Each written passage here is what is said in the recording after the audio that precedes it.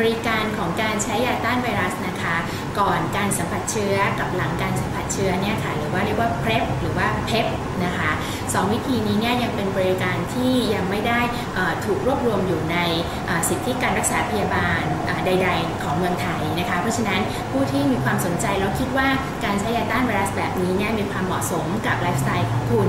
จะต้องขอเดินเข้ามายังหน่วยให้บริการต่างๆ อย่างเช่นที่คลินิกนิรนามนะคะหรือว่าหน่วยบริการที่ตรวจ HIV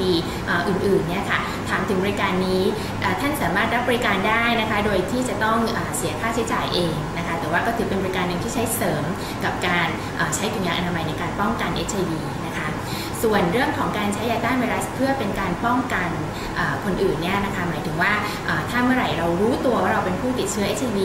เรามีการเริ่มกินยารักษาตัวเองโดยเร็วนะคะเราก็จะทำให้เชื้อไวรัสในร่างกายของเราเนี่ยค่ะลดลงจนไม่สามารถถ่ายทอดไปให้คนอื่นได้นี้เนี่ยกำลังจะกลายเป็นนโยบายนะคะของประเทศไทย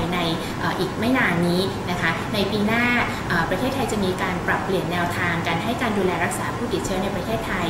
จากเดิม ซึ่งเมื่อไหร่ก็ตามเรารู้ว่าตัวติดเชื้อเนี่ยค่ะจะต้องรอจนภูมิคุ้มกันของเราหรือว่า CDC เนี่ยนะคะตกลงไปน้อยกว่า 350 เราถึงจะเริ่มยาต้านไวรัสได้